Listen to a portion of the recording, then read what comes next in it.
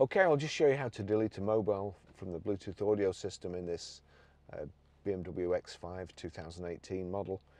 So any screen you've got menu there and then communication. You've actually got a communication button there as well. So to get to it from menu, that's what you would do. Otherwise you click communication there. Now there, there's nothing really of interest when you're deleting a, a mobile. So you knock the iDrive across to the right and there you'll see connect new telephone and manage telephones. Again, not, not really too clear. If you turn the iDrive,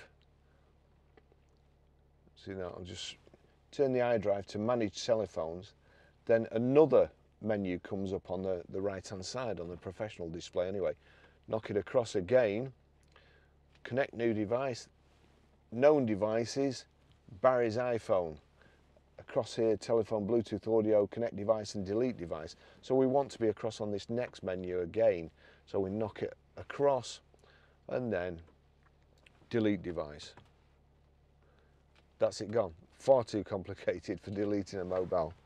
Way, way too complicated, in my opinion.